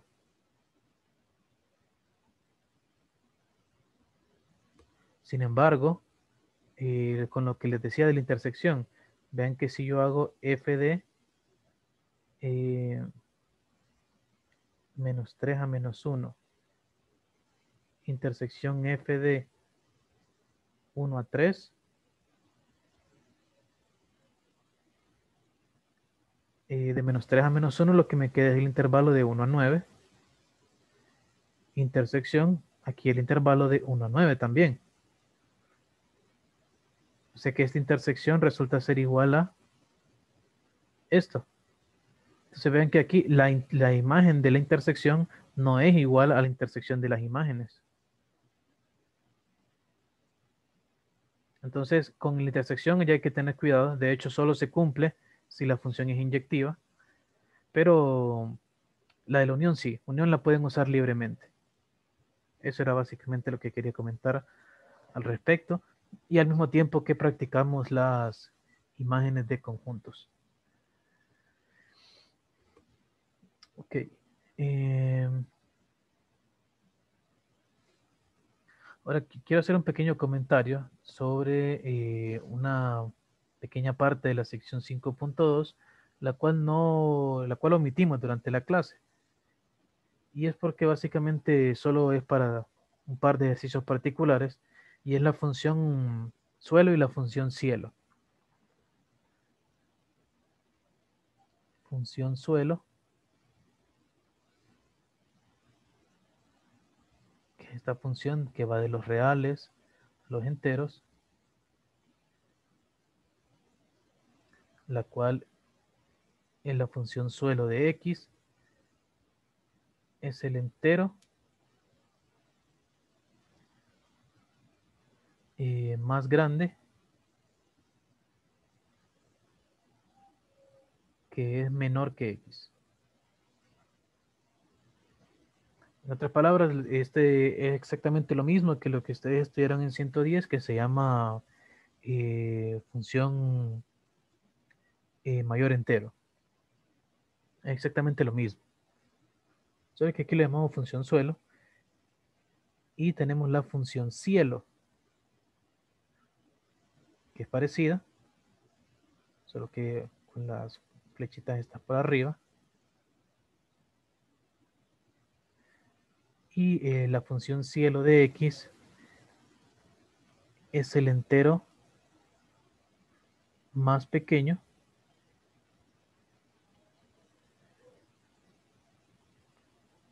que es mayor que x.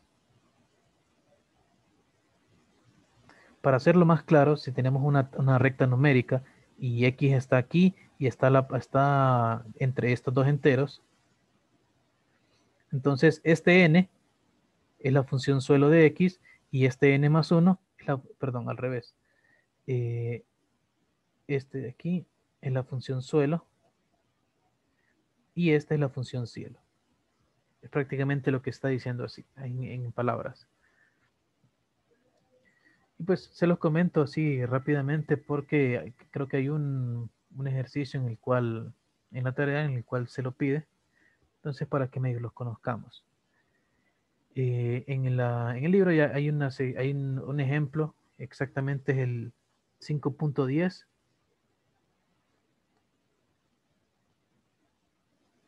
Ejemplo 5.10.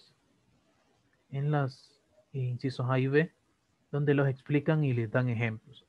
Entonces, igual, o sea, los cálculos de estos, ahí tienen bastantes ejemplos en el libro para poderlos, para poderlos probar.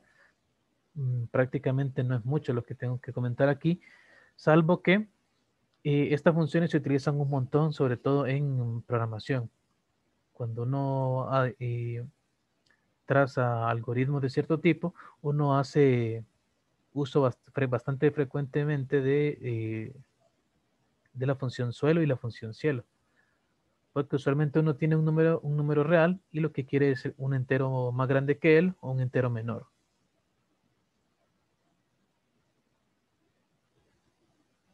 En estadística y en teoría de juego también. Mm, vamos a ver. Creo que en teoría de juego sí se da de ver, porque teoría de juego está relacionado con todo esto de, combinatoria y de matemática discreta y esto, pero en estadística honestamente yo no lo he visto. Sería interesante, pero yo no lo he visto en estadística. No sé si eh, habrá algún ejercicio en lo que sí, pero a final de cuentas son funciones y las funciones pueden aparecer donde uno menos lo, se lo espera. Así que sí, definitivamente podrían aparecer algunas aplicaciones en estadística. Sin embargo, yo debo de admitir que sí no las conozco. Entonces, em,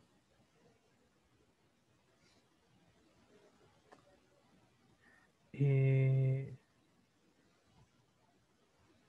ok, la, sí, la, observación de, de Christian es bastante importante que hay que hacer aquí, y es que estas dos funciones cumplen la propiedad de que si x es un entero, el resultado para ambas funciones es el mismo. O sea que si eh, n es un entero, se tiene esto y esto. Porque de hecho aquí en lugar de poner menor me, hace falta un o igual, que lo omití por simpleza, pero en realidad sí van. Pero sí, ese comentario es acertado.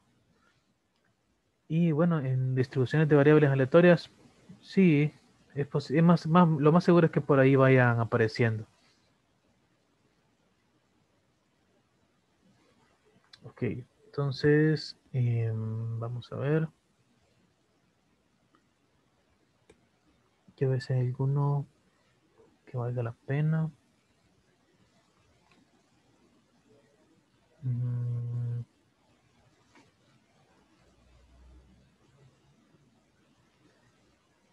Ok.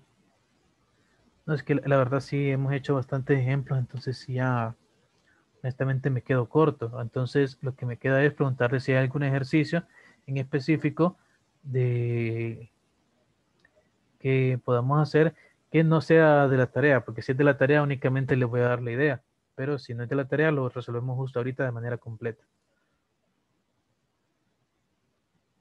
No sé si hay alguno que ustedes hayan visto o que tengan de para sugerir, porque yo sí ya no, ya cubrí más o menos lo que quería cubrir hoy. Eh, sobre el tiempo del examen, ahí tengo que buscar encajarlo, pero probablemente sea como el, como el anterior, de una hora y media más o menos.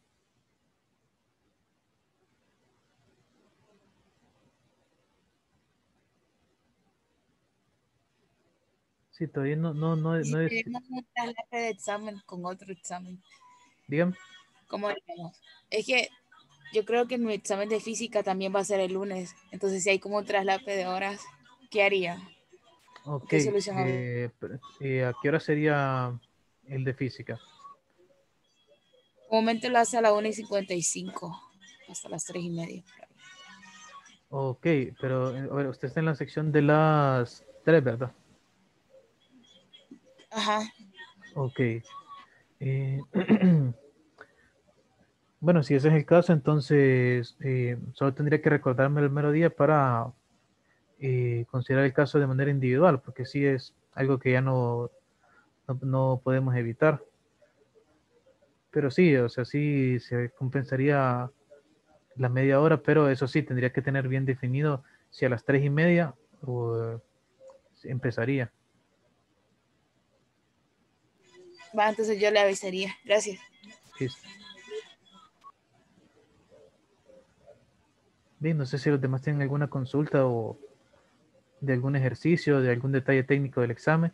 Yo a partir de ahorita voy a empezar a, eh, con la revisión de todo lo que hace falta de ma- para, ma- a manera de que eh, a más tardar el lunes temprano ya esté todo subido y ya podemos saber eso y solamente quede pendiente lo de este parcial.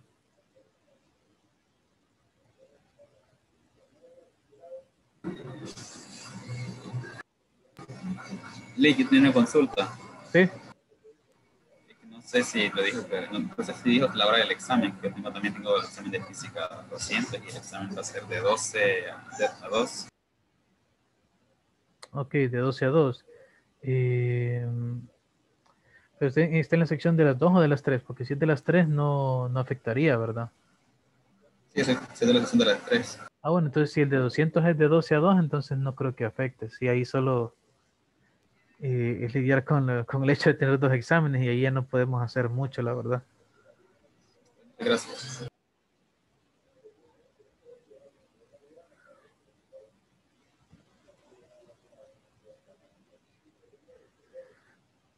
Bien, entonces no sé si alguien más tiene alguna pregunta. No, Lee. Ok. Entonces creo que vamos a dejarlo eh, por acá. Y bueno, espero que esta sesión de ejercicios de hoy haya servido igual que la anterior para eh, expandir un poquito más en las nociones de los, de los conceptos que vimos esta semana. Y, y sí, yo, yo estoy, estoy seguro que el, tiempo que, que se coloque para examen va a ser suficiente para los ejercicios. Eh, voy a buscar una manera interesante de hacerlos para que no queden tan, eh, tan largos.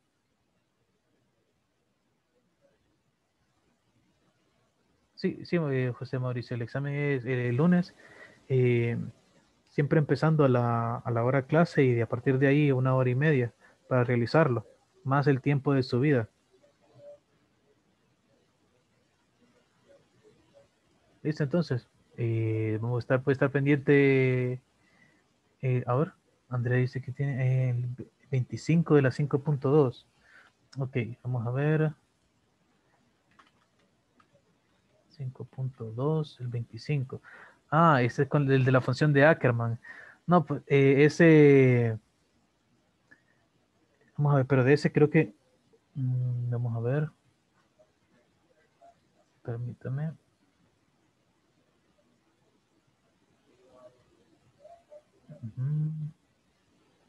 Sí, ese de la función de Ackerman. Bueno, el 1 y el, inciso A se hace haciendo los cálculos a mano. Y el inciso B y, C me parece que se hacen a partir de inducción. Y sí, el, el B, C y D se tendrían que hacer a partir de inducción. Entonces, eh, lo que sí les recomiendo aquí en este ejercicio es que, además de lo que aparece ahí explicado, que es muy poco, eh, también puedan eh, buscarlo en internet. De hecho, estoy seguro que si lo busco aquí. Sí, además, además de que en, lo- en los impares hay unas sugerencias en el libro al final, función de Ackerman. Entonces, vamos a ver. Para que lo vean aquí. Entonces, aquí en la función de Ackerman, en- de hecho en Wikipedia hay uno ya. Y aquí se puede profundizar un poco más. Y aquí pueden tomar un poco más de ideas eh, para conocerla y todo. Entonces aquí unos cuantos valores. De hecho, aquí les, les sirve para la primera parte del inciso A. Eh, pero bueno, el objetivo de este ejercicio es que ustedes vean que esta función que se define aparentemente muy sencilla, vean que cuando usted lo intenta evaluar en 4 y 2, ya esto es exageradamente grande en el orden de... O sea, este es un número que ni siquiera se podría escribir. eh, bueno, la mayoría de computadoras ni siquiera lo desarrollan de manera exacta, simplemente lo escriben aproximadamente. Entonces, sí, básicamente aquí la... eh, sí, la idea es hacerlo más que todo por inducción, las, las últimos tres incisos. Entonces no sé si, si eso le da una mejor perspectiva de cómo tendría que hacerlo, porque ese es el típico ejercicio en el que uno hay que meterle mano, no hay mucho que eh, de qué hablar, sino empezar a trabajarlo e ir desarrollando las ideas.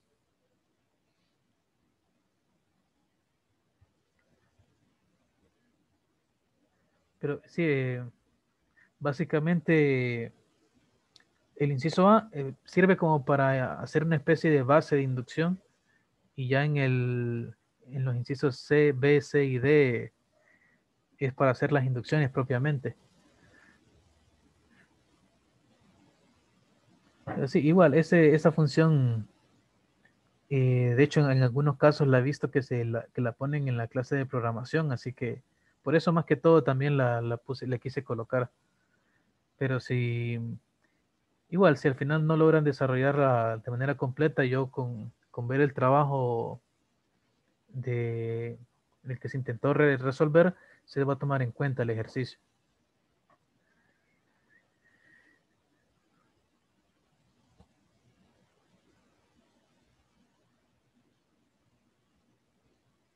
Por cierto, estoy viendo acá.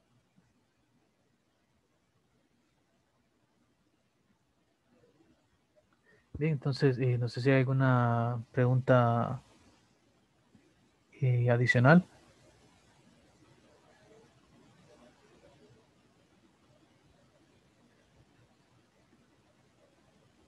Bien, entonces, eh, vamos a ir cerrando por aquí, ¿verdad? Entonces, espero que haya servido de, de- para ampliar un poco más los conceptos que vimos. Estas, estas dos sesiones que tuvimos, tanto la del sábado pasado como esta. Y pues mi, les deseo mucho éxito en el examen de lunes, tanto a los que tienen de física como a los que, al que vayan a tener conmigo. Y Y pues ánimo, ya solamente falta este, este ya es el último paso. Entonces,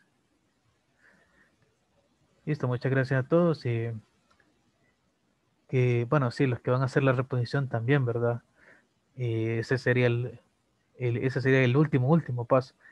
Entonces, eh, bien, a los que probablemente esta sea la, última vez que me dirija hacia ustedes, salvo los que tengan alguna duda en los exámenes. Eh, de igual manera, enviaré un correo de despedida y que todos estén bien, que sus familias estén bien y que pasen una feliz Navidad y feliz Año Nuevo, ¿verdad? Así anticipadamente. Gracias, Lick. Igual, eh, una pregunta. ¿Cuándo Sí. sería la reposición? Tendría que ser el miércoles. Mira, Sí. Y vamos a tener que pagar para hacerla. Eh, sí, respecto a eso, eh, me enviaron una, eh, una imagen sobre cómo es el procedimiento. La voy a mandar por correo justo ahorita, ahorita que lo mencionan. Pero sí, el- eh, yo les voy a mandar el... Ah, se mandó los correos también. Sí, de eso sí no me había percatado. De igual manera lo voy a reenviar ahorita para tenerlo a mano. Está bien, Lick. Gracias. Eh, listo. Y con la pregunta de José Mauricio, eh, sí, la- el examen te- eh, intentaría tenerlo revisado el, el martes temprano, pero sí, a- vamos a hacerlo más, sí, voy a intentar tenerlo listo, creo que sí, para saber las notas tem- temprano y ya tendrían toda la nota final para saber qué examen reponer. Ujú. Sí.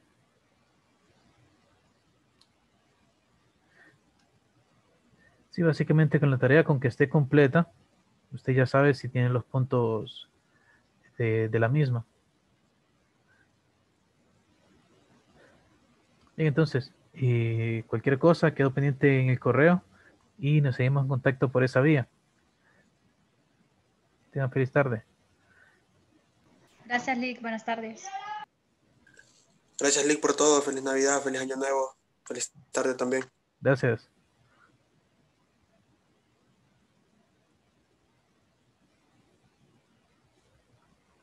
Gracias, gracias a todos.